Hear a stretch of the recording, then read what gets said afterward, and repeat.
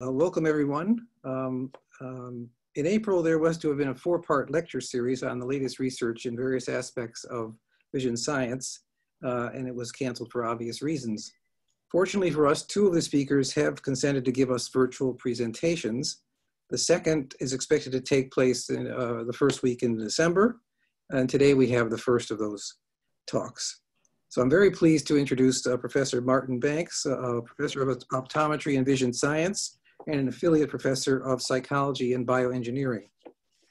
Professor Banks received his BA in psychology at Occidental College, an MA in experimental psychology at UC San Diego, and a PhD in developmental psychology at the University of Minnesota. After a period as a postdoc and assistant professor at UT Austin, he came to Berkeley in 1984. His research career has centered around visual space perception and sensory combination.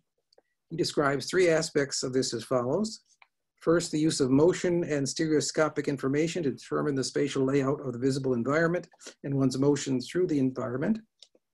Second, the combination of information from more than one sense modality, that is, e.g. Um, vision and touch. And third, the construction and evaluation of devices for creating useful virtual environments, um, uh, vision, uh, vestibular, and touch. In all cases, his research group, the Visual Perception Laboratory, seeks to determine how efficiently human observers utilize the available stimulus information while performing perceptual tasks and to apply the results to emerging technologies such as virtual reality. So uh, without further ado, I'm pleased to turn it over to Martin Banks. Uh, thank you. Thank you for the invite. I'm glad we finally had the chance to get together.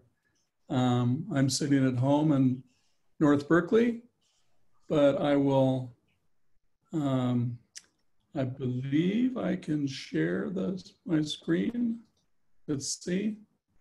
Uh, you might need to release that for me, Chris.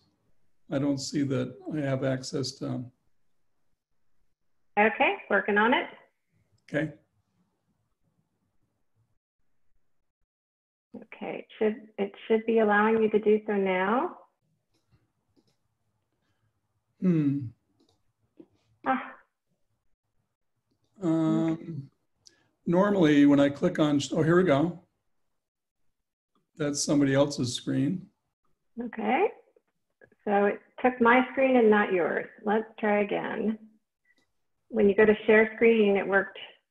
It did. Okay, why don't you try again? And if we can't, then Hmm. Yeah, that worked. Um, I'm going to try advanced. So what it shows is that one participant can share at a time or multiple participants can share simultaneously. And I'm, it looks like I'm, so I clicked on one participant, that didn't do anything. I'm clicking on advanced sharing, only host. Okay, um, I will, I'm going to make you host. Okay. And let's see if that gives you more power.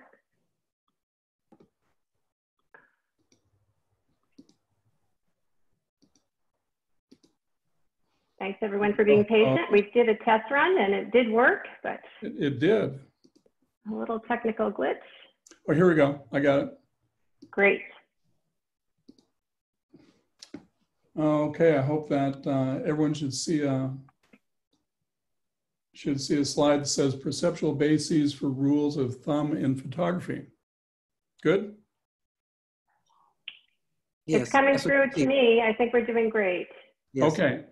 Um, so this area of research is, is not my main area, area of interest, but I've been fascinated uh, by some things they say in photography textbooks that seem to not have any real science behind them. So I, I just kind of put these various topics in my back pocket over the years and, and collected them into this um, lecture. And uh, to me, the kind of interesting point is that these rules of thumb that appear in photography textbooks and are known by a lot of professional photographers, uh, they, they don't know why. And um, so the analysis of it that we've done, in the end, it, it requires uh, knowing something about the physics of the situation, how the image gets formed, and something about uh, the, the way the visual system works. And finally, about people's viewing habits. And so just kind of keep that in mind as we go along because it's fun that um, that uh, photographers know these things, but they don't know why. And uh, physicists and vision scientists can help us uh, understand these rules of thumb. Uh, this is a picture in a book by a famous vision scientist named Pirenne, who had an interest, interest in optics and photography. And it's a picture of a sphere on top of a column. That sphere is a sphere, and the, there's nothing wrong with the photograph. It's not distorted, but uh, it looks like an ovoid to you, I'm quite sure. And we're going to talk about why that is. Here are other, two other images. Uh, the one on the left uh, looks like kind of a stretched in depth version of a person. And the one on the right is the opposite. That's a compressed in depth um, photograph. And in both cases, the photographer intended to create those effects. And uh, we're going to discuss uh, why, they, why they work. And here's a fun one. This is um, a, a, famous street artist named Julian Beever, who does most of his work in Scotland. Uh, there he is on the, on the right. And this is a sidewalk drawing he's made. And uh, the next picture, the next slide is going to show the, what it looks like when taken, when viewed from this vantage point right here.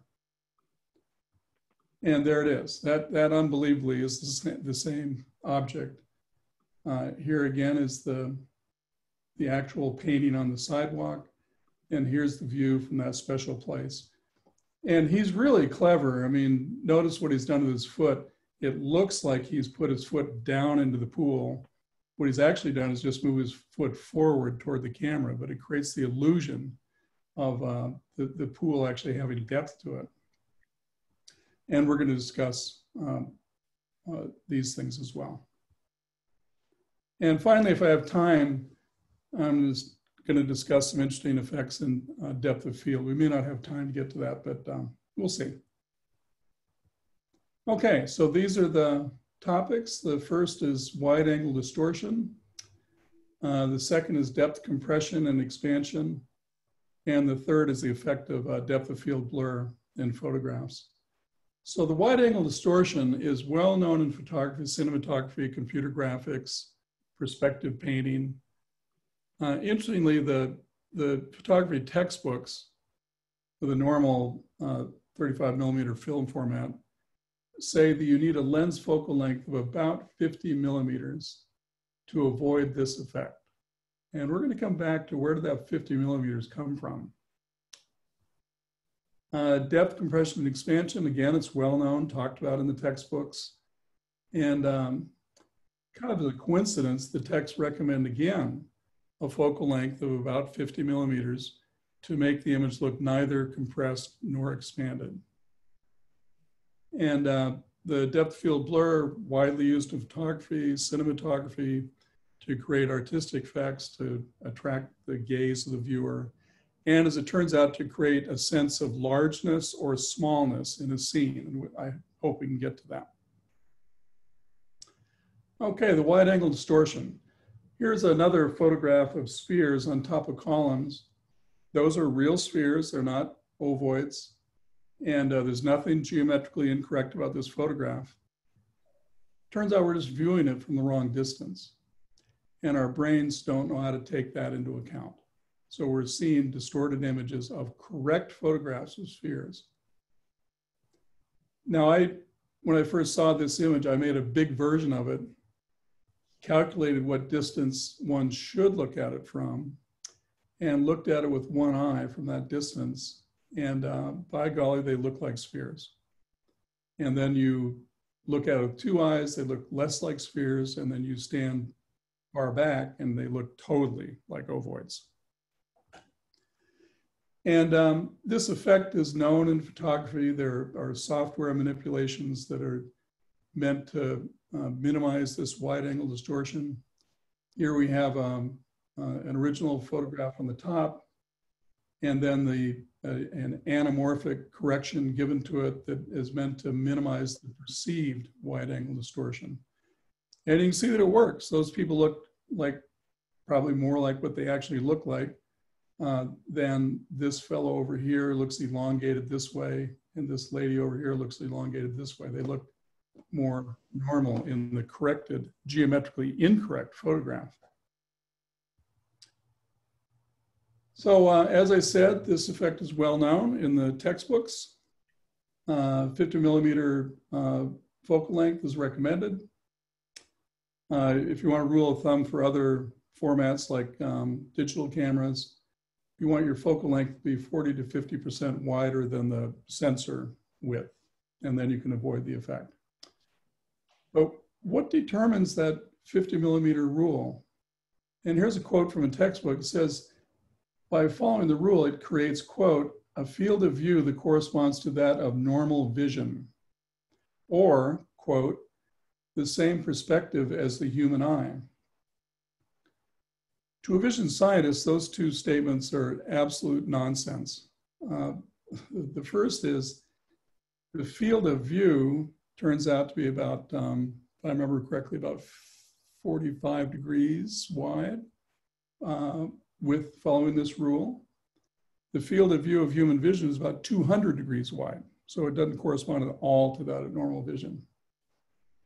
Uh, creates the same perspective as the human eye. Uh, I'm not even sure what that means. I, I, I can't interpret that statement. So I, I just think these, these explanations are uh, empty.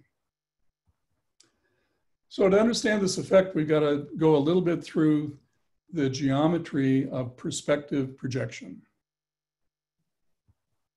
And here's a demonstration of that. We have a scene, whoops, oop, oop, sorry. Hmm. We have a scene uh, composed of a cube and two spheres. Let's imagine they're real objects. And in perspective projection, we're gonna image that scene on a plane called the projection plane. And the way that's done is you want to imagine the rays of light emanating from each point in the original scene. So imagine this corner of the cube has blue rays of light emanating in all directions. And we capture the ray that goes through a point called the center of projection. So there's only one such ray from that corner. And uh, this corner, we of all the rays that come from that corner, the one we capture is the one that goes through this center projection. You can think of that as the aperture in a camera, um, but in, in, in, graphics, it's a pinhole, um, etc. And then what we do is we, those rays that go through the center projection, we intercept them with a plane. That could be film in the case of a camera. It could be a palette of an artist in the case of perspective painting. And um, I think you can see in this construction that if we viewed the scene or the picture of that scene from this point, they would create the same image in our eye. And that's the beauty of perspective projection. It's a way to create the correct geometry of a 3D scene in the retinal image of the viewer. Um, just a little bit of math. If in the projection, I want to trace through what happens to a sphere. So a sphere has a height b and a width a. Of course, a is equal to b because it's a sphere. The rays projected into the projection plane intersect that plane at an oblique angle. And as a consequence, that changes the shape of um, A upon V compared to big A upon B. And that's uh, shown in this projection equation where little a equals big A, some projection parameters that are constants, uh, divided by the cosine of this angle, what we call the slant angle. That's the important term. And you know, the cosine is one or smaller. And um, so that's always gonna shrink that's sorry, it's always going to stretch A relative to B or have no effect. So uh, this correct projection of the sphere ends up being an ellipse elongated in direction A relative to B. Then we go to an eye, a human eye or a camera placed at the center projection. And that goes through another perspective projection, in this case onto the retina or onto the film. And if you track through the math on that, this cosine term ends up in the numerator, not the denominator. And so as a consequence, the, the stretching effect in the plane and the shrinking effect in the projection on the retina cancel. So in the end, A, little a in the retina, that should say alpha, sorry. Alpha is uh, proportional to big A, and beta is proportional to big B. So alpha upon beta is equal to one, as it should be. So that's the beauty of perspective projection. We can create the same retinal image as the real world would create, and we can do it on a photograph. But we got to play by the rules. We have to view the photograph from the, we have to do the projections correctly, and we have to view the photograph from the right position, the center of projection. And uh, this slide slides will drive that point home. Here we have our original scene and the picture of the scene, and we're going to view it from position C, the center projection. And so here's what, what it would look like, whether you're looking at the scene or the picture, they look the same. But what if we move to the wrong position, to O prime? Well, then the scene's gonna look different because we moved to the right. We're gonna see more of the right side of the cube, for example. And the picture is gonna look different too, but no longer the same as the scene. We broke the rules. So we didn't follow the rules of perspective projection, and that caused a geometric distortion of what the geometry should be.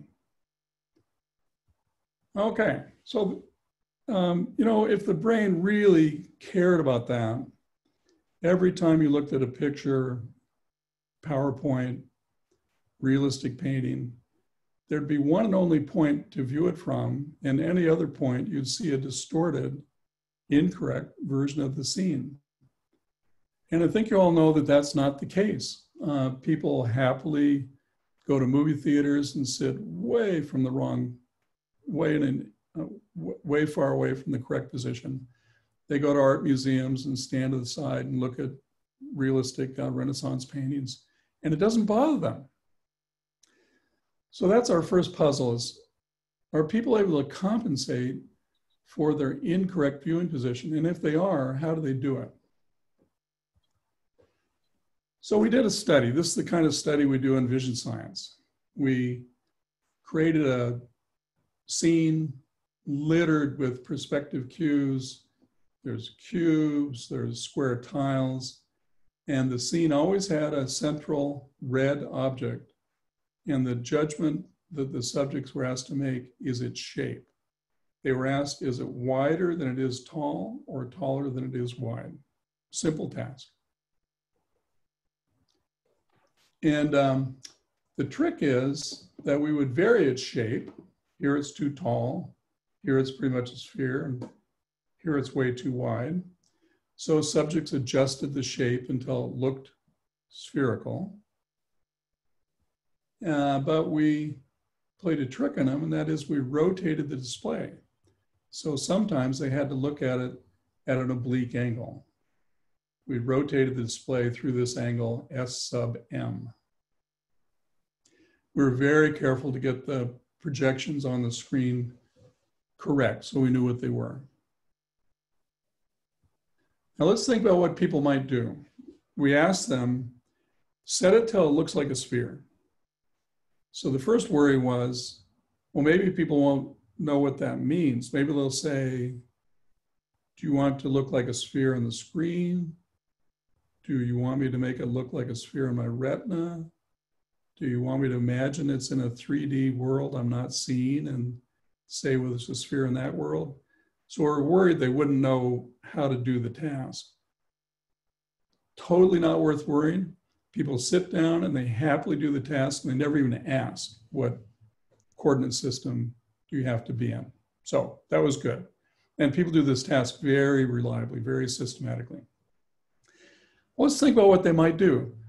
They might set the shape on the screen so that it made a spherical image, a circular image on their retina, or they might set it, so that would be operating in, in uh, retinal coordinates. You would create a distorted image on the screen so that it looked circular on the retina.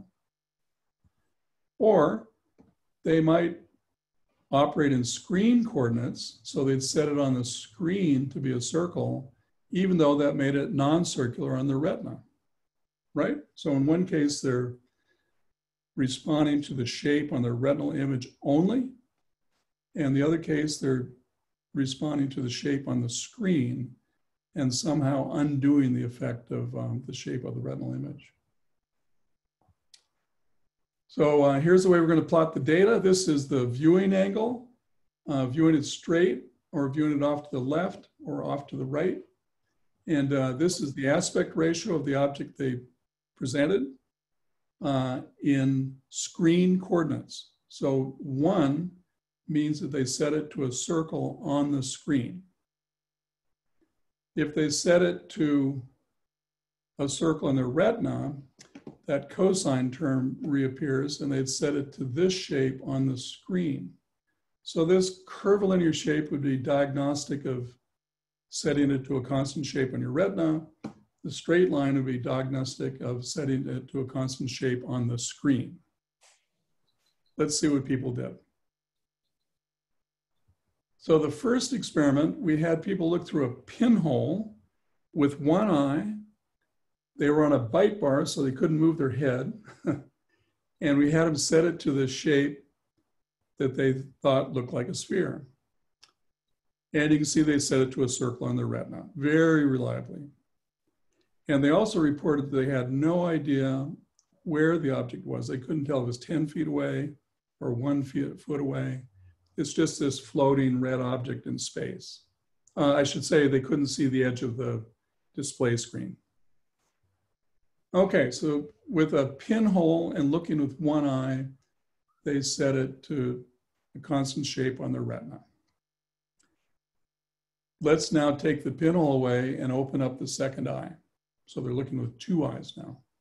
Exact same task, otherwise identical. And boom, that changes things dramatically.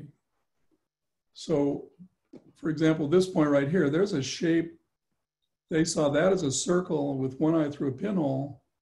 And then when we let them look with the second eye, they changed the shape on the screen dramatically and said, now that looks like a sphere.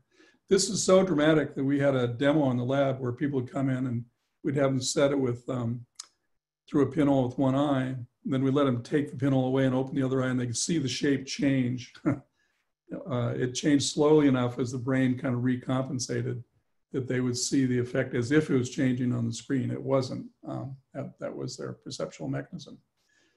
So we're going to call that invariance. That means you're seeing the same shape, uh, even though you're viewing it from different angles. So the shape in the retina is different. So these people are seeing the shape on the screen, not dictated strictly by the shape on the retina. So we're going to call that um, a, the ability to compensate for an oblique view. And um, there were people had known about this effect um, way back into the 19th century that kind of knew that you could compensate for these off axis viewing positions. And there were two theories. One was uh, called pictorial compensation, very complicated. I'm not going to go into it because it's wrong anyway. And then another very simple idea uh, from the American psychologist Hans Wallach, uh, who said that all people are doing is they're seeing the surface slant of the screen and they're taking that into account. They're undoing that effect. Simple as that. Doesn't matter what the picture is, people are doing that. For those of you who know a bit about vision, science, that's called shape constancy. And uh, Wallach made that a well-known phenomenon. And um, just in the interest of time, I'm going to make a long story short and tell you that, that that's exactly what people are doing. They're the, this last slide here, the blue data points uh, show that people are just calculating the slant of the display screen, putting that into the calculator inside the head, and undoing that uh, slanted view. And that's what causes this. And so it's a good thing. It means when you sit in the wrong seat in the theater, your brain can estimate the slant of the cinema screen, take it into account, so you see roughly the right shape of objects on the screen. Not, not identical, but, but roughly correctly. And I, I would argue that's why pictures work. If we really had to be at the right position to view everything, uh, pictures would be very demanding. We need, we need, need to each have our own picture so we could view it from the right place. We couldn't share screens, et cetera, et cetera. Now, this wide field distortion effect turns out to be a byproduct of this process.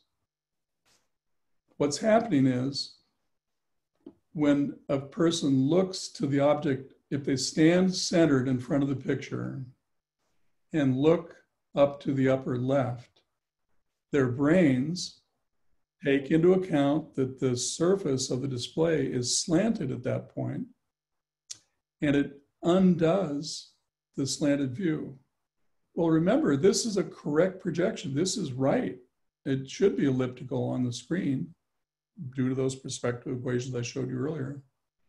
So the brain's doing what it doesn't need to do in that case, and that is take the slant of this uh, wide angle picture into account up in the corners. So that's what causes it. You can eliminate the effect by looking through a pinhole, so you can't really tell what the orientation of the surface is in that point. Then the effect goes away. Um, remember, the photographers recommend that you use a focal length of 50 millimeters to eliminate this effect, which just seems obscure. Why, why would that be? Well, let's think about that a bit. Um, here's the, an equation that describes the, the image formation in a camera. Uh, w is the width of your film or sensor plane. Uh, F is the focal length of the camera. And theta is the angle, the field of view of that picture. So uh, in the upper part here is the angle that the camera can see. So here with a 28 millimeter lens, you can see 75 degree, theta is 75 degrees, whereas with a 1000 millimeter lens, uh, theta is about two and a half degrees, much smaller. So long focal lengths capture a smaller angle. Short focal lengths capture a larger angle. And um, so what we did is we looked at the uh, human ability to determine whether an object is a circle or an ellipse. And it turns out uh, you need about a 5% increase in width over height before people say that's not a circle, that's an ellipse. So keep that 5% number in mind. Whoops, whoops, whoops. My mouse is being overly sensitive. And um, uh, 5% occurs at just short of 20 degrees from the center of a photograph. So if we work back through, back through the math and plug 20 degrees in and solve for F, it comes out to be 48 millimeters, pretty close to the recommend, recommendation of 50 millimeters by the photography text. So our argument is that the, the recommendation by the photography text is sensible, it's the right thing to do, but the understanding of it is, um, is not there. Uh, and we think we have understood it as a consequence of the brain taking into account the slant of a photograph at the oblique parts of the photograph and, and, and in effect creating this distortion perceptually. okay, I'm at a transition point. If there are um, questions, I'd be happy to answer them.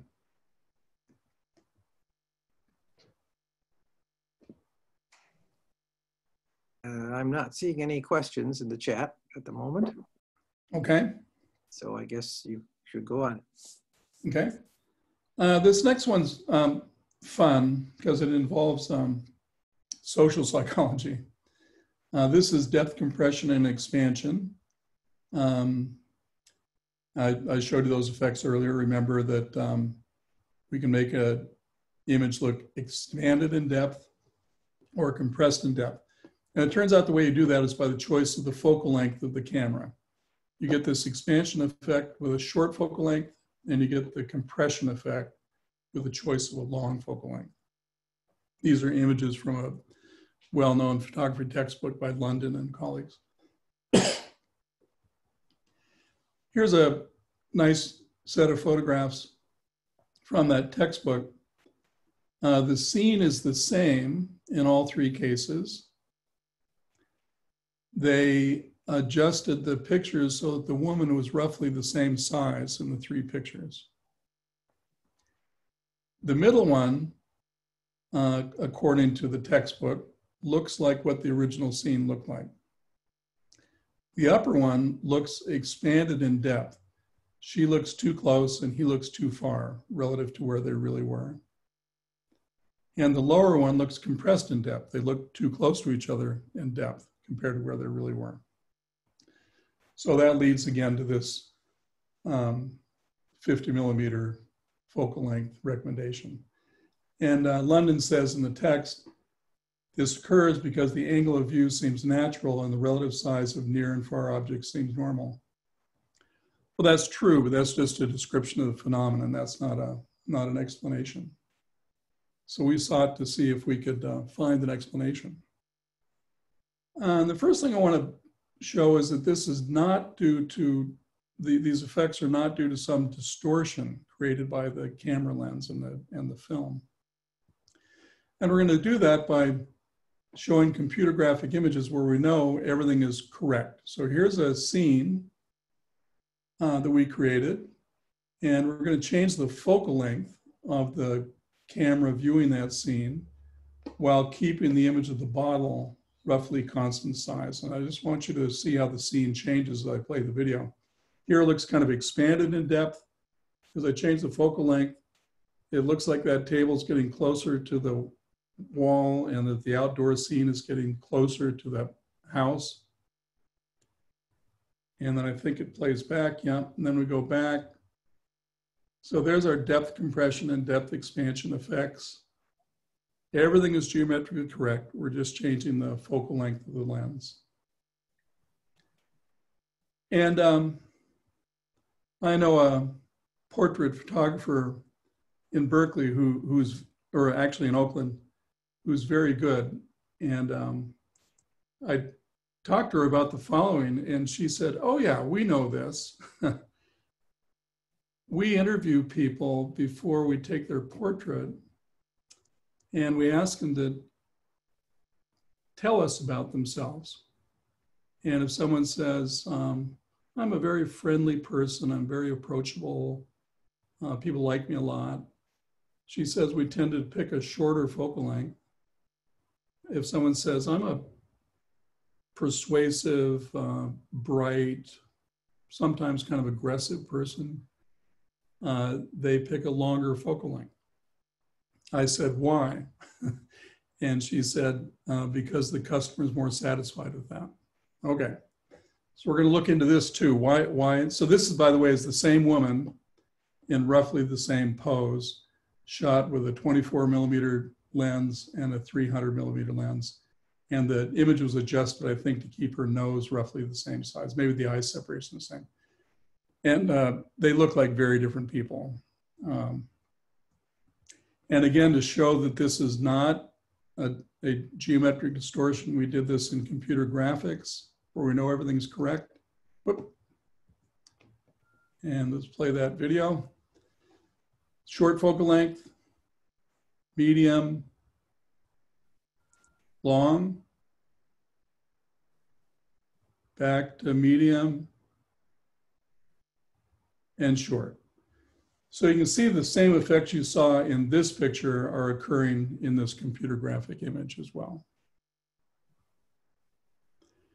Um, Pietro Perona, computer scientist at Caltech, uh, was interested in these effects and did the did a study that has uh, I think remarkable findings. He took pictures of people with a short focal length, medium focal length, and long focal length lens. In each panel, uh, the short lens is on the left, medium is in the middle, and long focal length is on the right. And he had uh, some large number of people that he took pictures of. Uh, they were women, they were men, they were young, they were old, they're different ethnic groups, everything you could think of.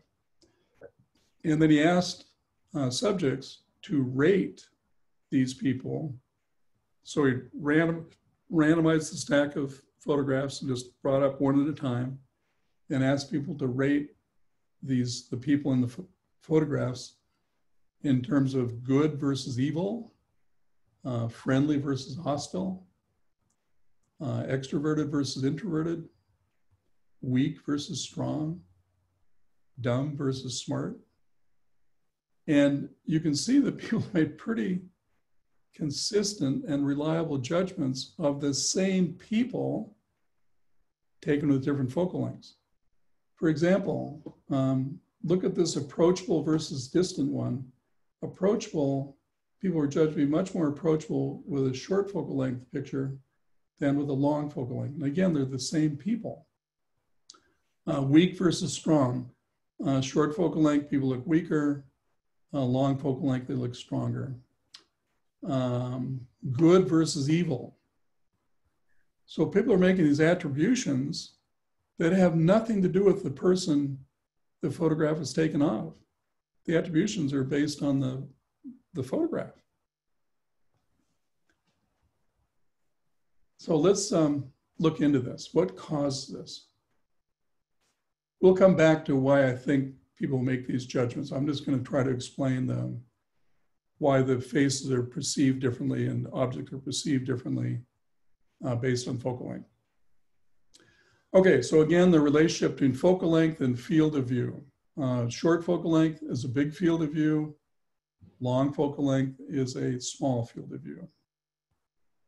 And here's example pictures of the same scene, short focal length, medium, and long. So there's our depth expansion and depth compression effects.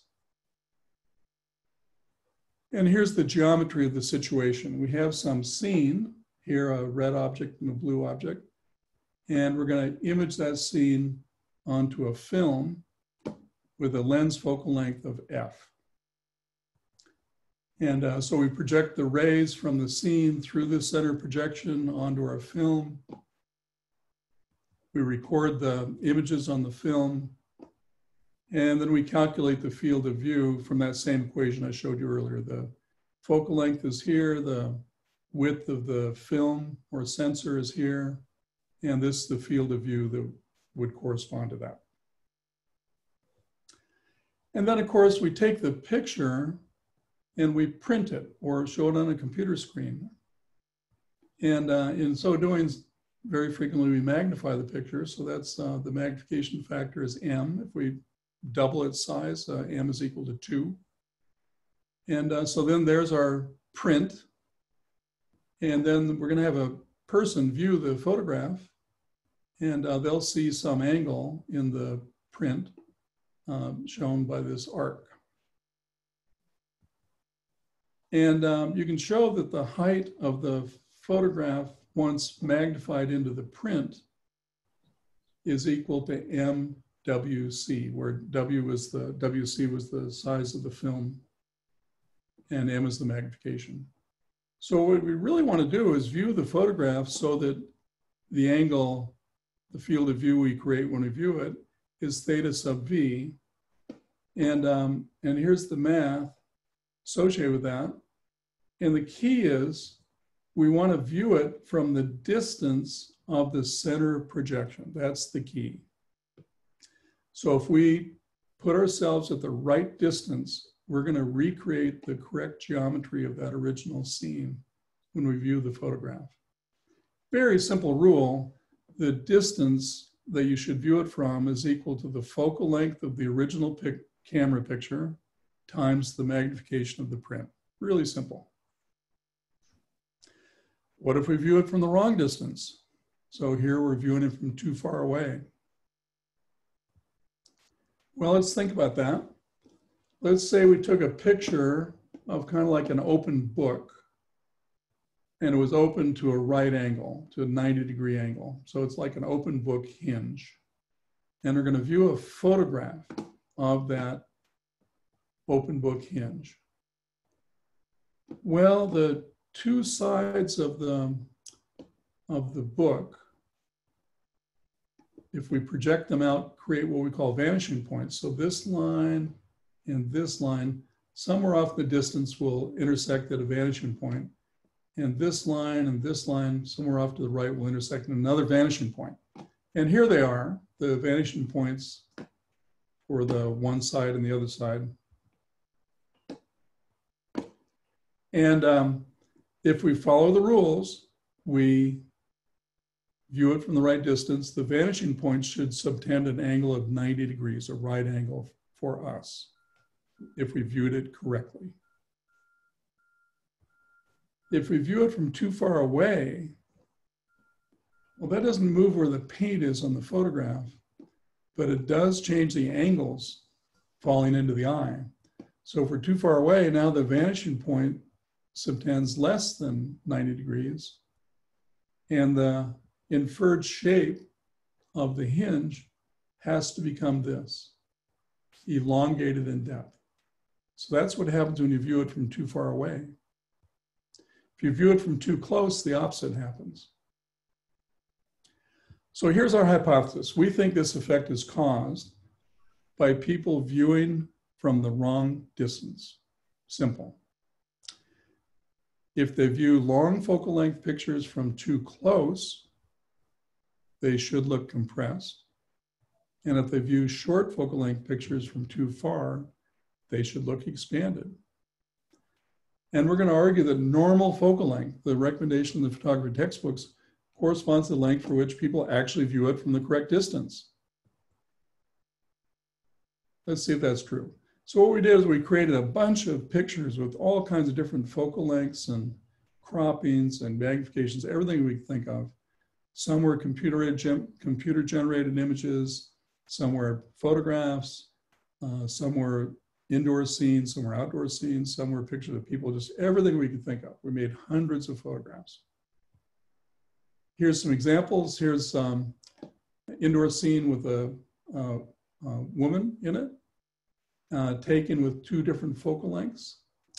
Here's a computer generated scene of a bedroom, again, taken with two different focal lengths. Same scene in both cases, but they look different because of the focal length choice.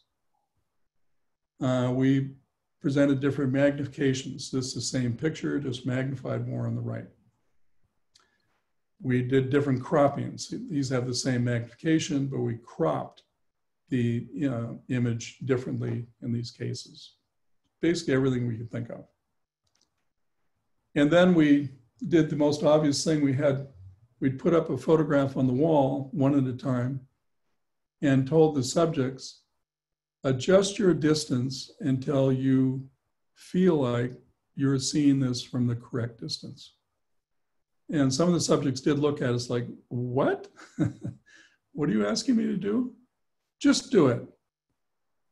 And uh, sure enough, people happily do this. They would walk toward the photo and away from the photo and say, yeah, that seems right to me. And uh, we were surprised at how consistent people were in these judgments, even though they felt like they didn't know what they're doing. And here's what happened.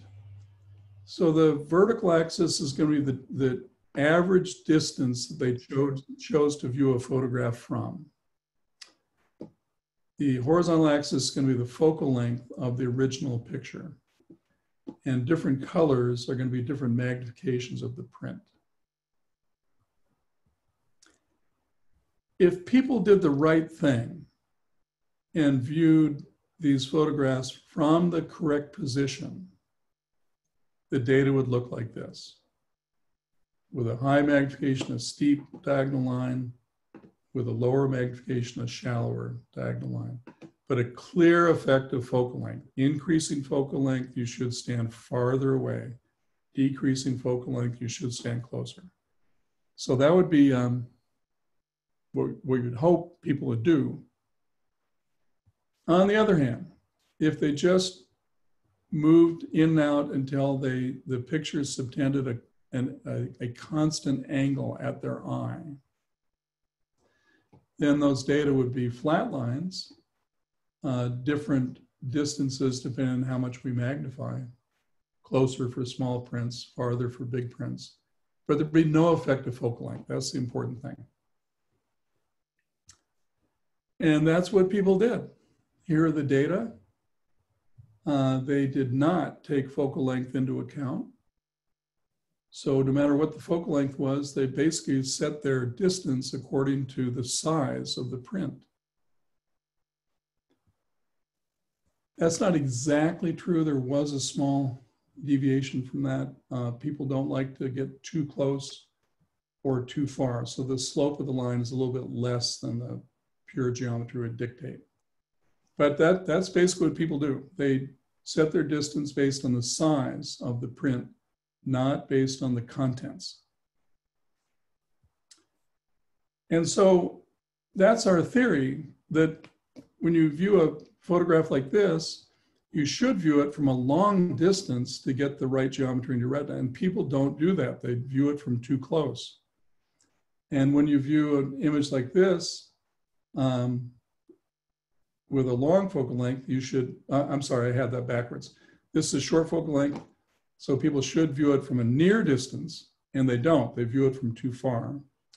And the one on the right, they should view it from a long distance, and they don't. They view it from too close. And um, those compression and expansion effects are a perceptual consequence of uh, standing at the wrong distance. Uh, this has implications for um, focal lengths you want. If you're using a cell phone to view things, if you're using a print, computer, TV, etc. But I want you to notice um, this line is what the 50 millimeter rule would dictate. And a lot of the data fall close to that line. So people are actually setting their distance roughly correctly uh, following the 50 millimeter rule. Uh, not true with smaller devices, then they, they deviate from that. So we think that's where the 50 millimeter rule comes from. And um, uh, we came across this publication a couple years ago. Someone sent it to us. It was in the uh, Journal of American Medical Association, Facial Plastic Surgery Journal. And uh, plastic surgeons have noticed that there's an increase in the number of people wanting nose jobs. And uh, a pretty dramatic increase, apparently. And uh, when they asked their patient, well, why do you want a nose job? Well, my nose is too big. I want it to be smaller. Well, why do you think it's too big? And they would show uh, selfies they had taken from their cell phone. Well, that's exactly the, the plays into this effect we're talking about. A selfie is taken with a short focal length and then you view it from too far. So it makes the nose look elongated for the reasons I was saying. So we wrote a reply to this and just uh, noted that that is probably the consequence of it. And uh, so if you really didn't want to have recommend surgery for a, a nose because it really wasn't too long, uh, take their photograph with a different device and have them view it from the right distance so they can see what they really look like. Okay, so time-wise, I, I think I should probably stop there. I'm going to blast through the next bit, um, just show you some images that we're going to, we're, we were going to talk about depth of field blur. And I just want to show you this because it's fun. Uh, if you look at that, you can see that it's a wire cube with a pencil running through it. And uh, how about this one? A lot of people find that harder to interpret, but eventually I think you can get it. You have to realize that that vertex is near and this vertex is far. All we did is change the focus of the camera, nothing else changed. So here's the original with the camera focused near and here it is with the camera focused far. And it's amazing what a, uh, how that changed the interpretation of the object. And here's another fun thing. This is a scene of uh, downtown San Francisco. shot with a kind of conventional camera. And I'm going to show you next the same scene shot with a camera that has, it's a virtual camera that has a 60 meter aperture. And uh, so that creates a lot of blur uh, in distances that virtual camera is not focused. And to a lot of people, it makes the scene look small, makes it look like a toy world. So there's the original. You could believe that's downtown San Francisco. And to a lot of people, this looks like a toy model of San Francisco. Here's an image a friend sent um, of a scene in some town in Germany where the, he applied the same trick and it makes the scene look like a toy. And uh, here, the opposite is used in cinematography where they get rid of blur to make things look bigger. So the next part of the talk is going to be about is um, why that happens. I unfortunately won't have time to talk about that, but I'd be happy to answer questions about it. So let me thank, um, one of the great things, as you know, about hanging out at Berkeley you get to meet some wonderfully talented people. And the people who worked in these projects were uh, Raj Vishwanath, who's now a professor at St. Andrews University, Ahna Girshick, who works for Ancestry.com, uh, Robert Held, who uh, now works at Microsoft. Uh, Emily Cooper came back to be a, a new professor in Berkeley Optometry. Uh, James O'Brien is a professor in Berkeley Computer Science. And Elise Piazza, I have to update this, um, is now a professor at McGill University. And we received our funding from NIH and NSF and from the Center for Innovation in Vision and Optics, which is the new center formed in the School of Optometry. Thank you. Thank you, Marty. Um, okay, so I have a question here for you. Mhm. Um, There's uh, uh, there's basically only one question so far. So folks, if you have other questions, please start typing. Um, so, so this was in the first part of first section of your talk. This came. Uh, can you explain why the rule of thumb for portrait photography is that the recommended lens would be a 60 millimeter lens Um, for portrait photography? Yeah. Um, the effect that we're focused in on here is uh, demonstrated in this picture, where the focal length on the left is uh, shorter than the recommendation, and the focal length on the right is longer than the recommendation. And I'm told by portrait photographers if you shoot a series of pictures with different focal lengths and then make prints and ask people which print looks most like the person, they will pick around 50 or 60 millimeters. That's uh, for 35 millimeter format. And um, the reason we believe that, that the other images look not natural is the short focal length looks expanded in depth. So this woman's nose here looks elongated toward the camera. Her face looks more cylindrical than it really is, uh, more curved in this dimension than it really is. Whereas this, I, I don't know the person in the photograph, but oh shoot, now I lost it. There. Um, but this apparently does not look like the woman. It looks uh, flattened compared to the original woman. Her forehead looks flat, her face looks wide and flat. So it just doesn't really look like her. And um, I, I, honestly think that's just a function of how we view these photographs. If I could make you view these two photographs from the correct distance, they would look more like the, the person actually looks. But people just don't do that. They don't view it from the correct distance. Okay, good. Now I have more questions. So let's see. Uh, how does uh, this? How do these um, things work on a curved TV screen? What difference does that make? Yeah, that's a great question. Um, um, uh, how can I answer that question fairly shortly? If the screen was a sphere and the viewer was at the center of the sphere, and the TV producers knew how to project the images correctly, that would be great. That would get rid of all these effects. It would be wonderful. The curved TVs are not a sphere, they're a cylinder. People don't sit at the center of the cylinder, and the TV manufacturers do not do the correct projections onto the screen. So I, I think it's kind of a mess. Uh, so there is an opportunity there. I advise the TV manufacturers, and they just say it's too expensive to do the right thing. And they certainly don't want to have a TV set designed for one viewer at a time. They want you know families to participate. So I just think in general it's not a very good idea. I didn't buy one.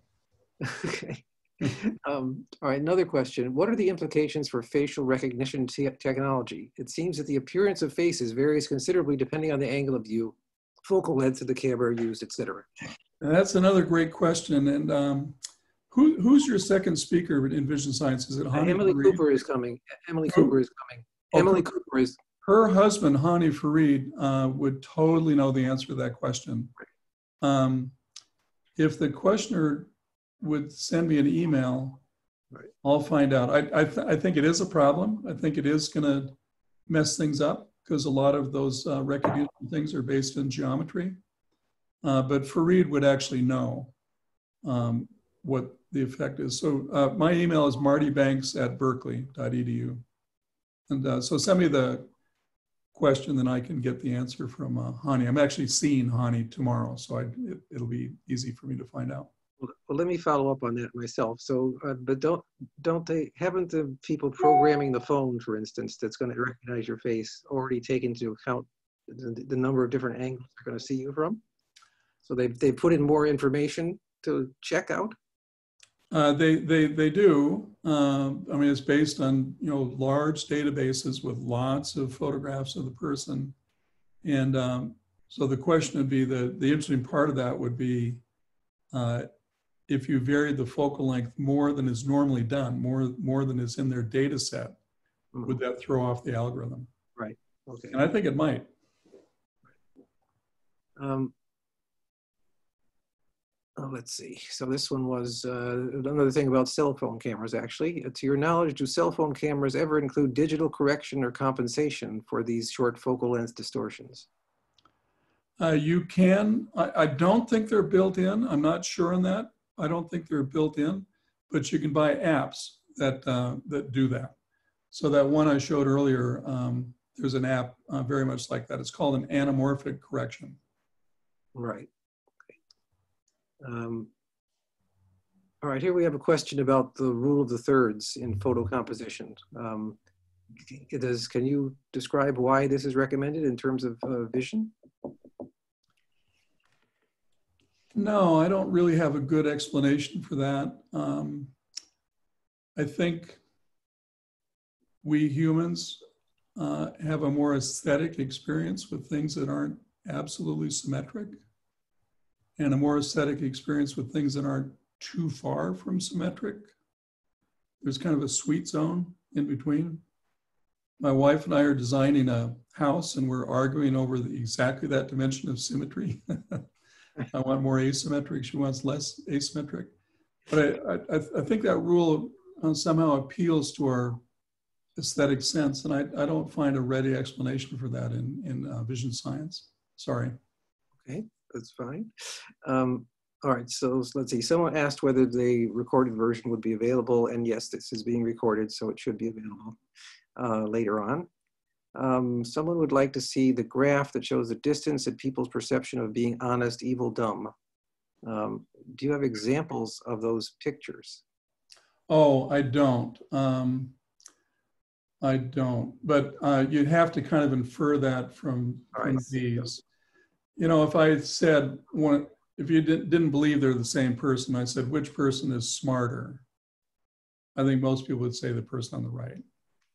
Uh, which person uh, has a history of some mental illness? Uh, I think you'd probably say the person on the left. Uh, which person has a tendency to be uh, kind of aggressive and a little uh, difficult to approach? I would say the one on the right. And let's think about where those come from.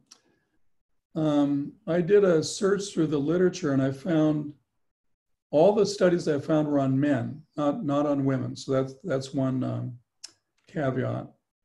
But it turns out if you measure the, eye, the cheekbone to cheekbone width, we'll call that cheek width, and the middle of the lip to the middle of the eye height, we'll call that lip eye height, and express that as a ratio.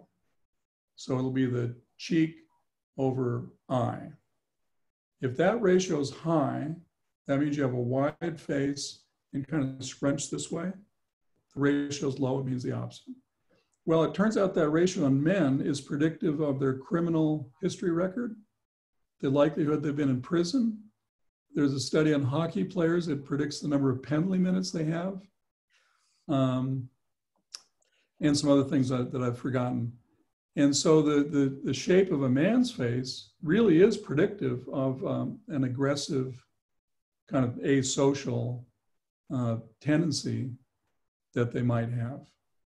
And uh, speculation to be that this might apply to women as well, but uh, I didn't find any studies that looked at women's faces. So again, that's just kind of a case where we've, you know, unconsciously picked up these correlations, I guess, about people we have met and their what we believe about their behavior, and we've kind of embedded those in the way we interpret um, interpret faces. So that reminds me of 19th century phrenology, and I've, been some, I've been reading some 19th century novels lately where the author or people in the novel seem to be taking it extremely, extremely seriously and describing people um, in terms of their the shape of their face and their foreheads and so on uh, as very indicative of their character. Yeah. As it, as, as of course, these out. are all weak correlations, right? Even the thing I was telling you, they're right. statistically significant, but they're still weak correlations. Right. Um, all right, let's see. Um, all right, now someone else says um, that uh, they recall that 85 millimeter as an ideal focal length for portraits. Well, that's different from the other person who remembered 60. Yeah. Um, um, well, no, uh, that the so my portrait photographer friend would agree with that if the goal is to make the person look more attractive and brighter. They, they do tend to increase the focal length to create that effect. But it doesn't necessarily make them look most like like what they actually look like. That's an important distinction. That's kind of pushing them towards an appearance that they may not actually mm-hmm. have. Right. Uh, the same person asks about any if any issues are involved with lidar. Do you know? Hmm. Why? Uh, lidar is uh, distance sensing through, yeah, yeah, the distance through radar. Yes. Um, no, I mean those things work on geometry, and uh, I, I, I wouldn't no, think so. Yeah, I don't think there's no there's no well yeah. Mm-hmm. Um, let's see. Okay, so, so someone asks, I am having problems photographing ceramic vessels with an iPhone. I get to this presentation late, so I don't know if you've already covered this. um, uh, well, there are two problems that could occur, and the question would be which of the two it is. One is um, they can, you know, if you get up close to them, you've got a variety of distances. So we think of distances in vision science in terms of diopters. They're reciprocal distances. And if you have a, um, an object like a vase and you're close to it, then the difference between the farthest part you can see and the nearest part you can see is pretty significant in terms of diopters. So it's hard to get a focused image of both at the same time. The other thing with shiny ceramics is they have highlights and, um, and the highlight is actually focused in a different plane than the surface of the ceramic itself depending on the curvature of the ceramic, it's, it's usually focused behind the surface. It's kind of in, internal to the, to the ceramic. So it might be that he or she's having trouble with the highlights and uh, how to focus them. And that's just a problem, right? They're, they're in a different depth, so it's just, it's just a problem. Um, All right, so this is back to the uh, different perceptions of the focal lengths of people. Uh, someone noticed that the happy and sad characteristics of the different focal length portraits did not vary as extremely as the other characteristics. Yeah, Happy, sad. You know, that's right. yeah, that's Did true. anyone talk about that? Um, don't have an explanation for that. Um, and I don't remember Perona highlighting that in the, in his paper. Mhm.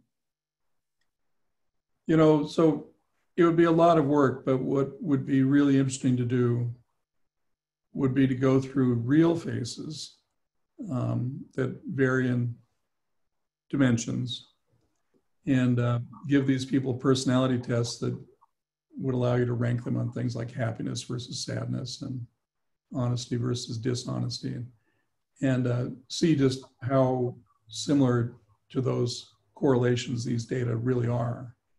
Mhm. I picked on that one dimension, uh, you know, face width versus face height predicts aggressive behavior in males.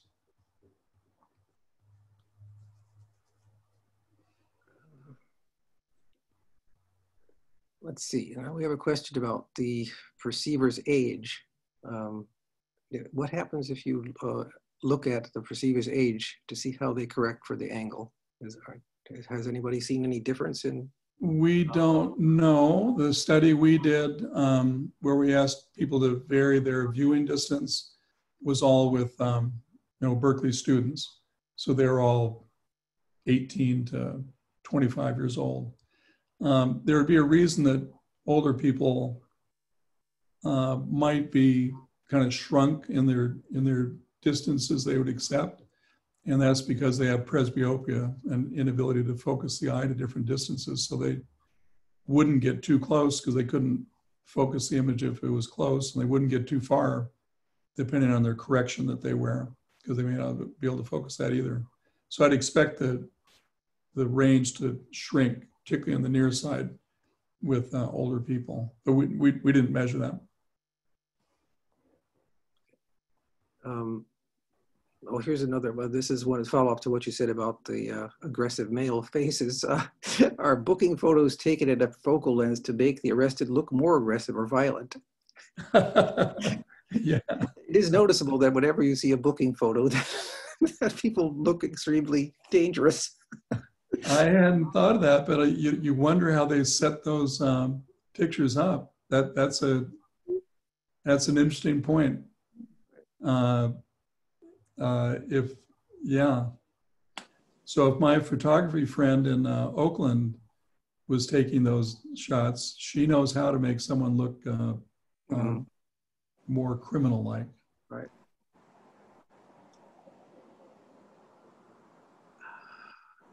All right. Um, oh, here's a question about the um, would someone very young have less experience with correction ability uh, in the brain? Um, Do we we- don't know the answer to that, uh, and I think by very young you'd have to go into infancy Mm, because by the time kids are like four or five years old, they've had a huge amount of experience with pictures and books, uh, computer screens, televisions, etc. So they've had you know thousands of hours of experience. Uh, so that'd be a really interesting question. To people have looked this phenomenon of shape constancy, that is being able to see the true shape of an object when seen at a slant.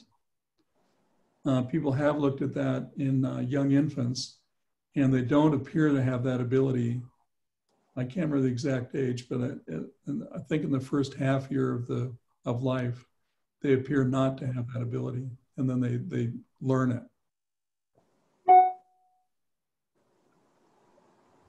Um, so I think I've done most of these. Did um, there was one of our members who sent in uh, a link for uh, a video clip of six different photographers taking portraits of the same man, but the photographers are given different background on the man as, as to whether he's a former Oh, really? CEO. Oh, please, please send that. how the photographers came up with very different portraits of the same man. So there's a there's a YouTube URL in the in the chat. Oh, that's awesome. Thank you. So, So- Don, let's uh, open it up if there was anyone who I was couldn't ju- use I the was- chat. I was Thank just you. about to do that. yes, uh, we've got to the end of the written questions, so if there's anyone who wants to make an oral uh, question, uh, unmute yourself and speak up, I guess.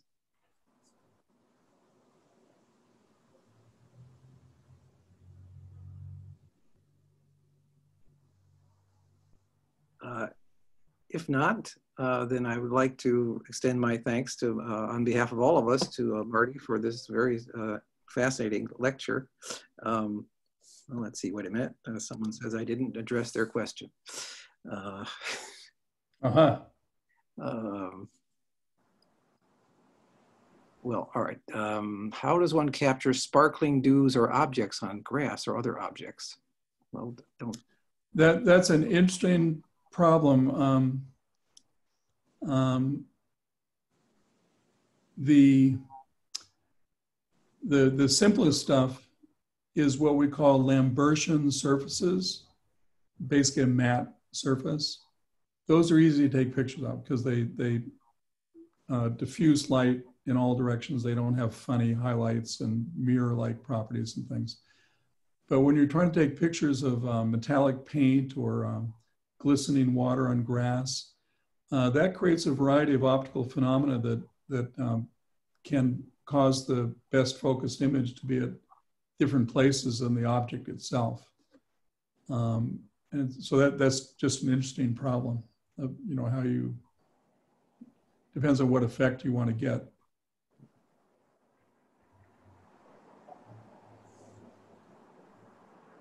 Uh, uh, one of one person recommends that a polarizing filter helps with some of those types of highlights. Right, Yeah, that's true.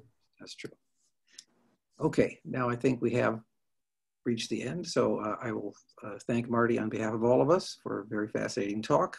Uh, and I remind uh, those of you who are still here that uh, Emily Cooper, who was mentioned as one of the researchers here, is going to be speaking to us in December.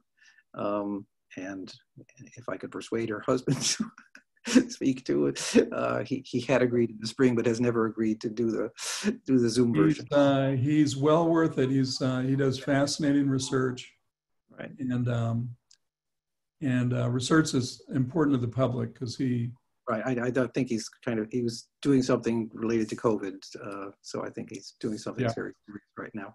Yeah. Okay. So thank you very much. Thank And, you. uh, See you all. You, uh, see you all next uh, lecture, September eighth, hopefully. Okay. Bye-bye.